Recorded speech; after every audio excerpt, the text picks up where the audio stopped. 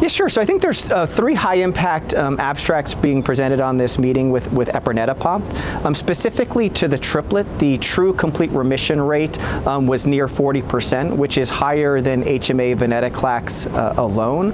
Um, the P53 group is a very sick group of patients, and whether or not there's subsets that can better respond or not, I think is an open question. How do these patients do to transplant?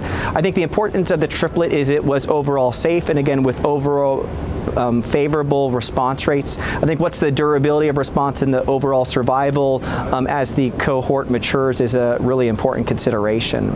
I think separately we show in a combined large phase two trial uh, with the GFM and our center that uh, complete remissions are very good with the combination of eprenetapopt and azacitidine therapy alone.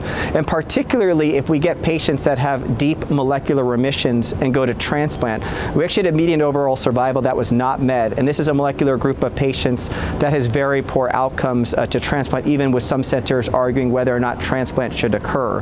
And on that note, actually, Dr. Mishra at this meeting will be presenting post-transplant maintenance of that combination um, with a, uh, an overall survival that has not been met with decently long-term follow-up. So can we use a novel combination, get the best remission, take them to transplant, and then give them maintenance? Maybe an ultimate or an optimal paradigm for patients with P53 mutant disease.